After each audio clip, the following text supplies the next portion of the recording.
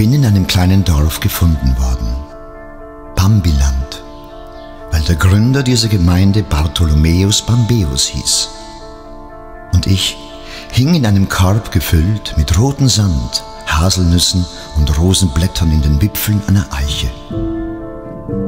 Meine richtigen Eltern habe ich nie kennengelernt. Wenn ich mich betrachte, muss mein Vater ein Riese gewesen sein und meine Mutter eine Zwergin. Oder umgekehrt. Bambiland. In meiner Erinnerung sehe ich die Wasserfälle, die je nach Tageszeit ihre Farben änderten.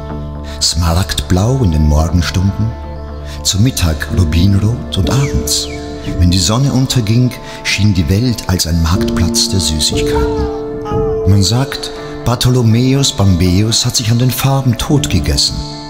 Deswegen durften wir Kinder nie ans Wasser gehen, wenn die Sonne unterging. Mein Zuhause war ein verlassenes Schloss mit sieben Türmen.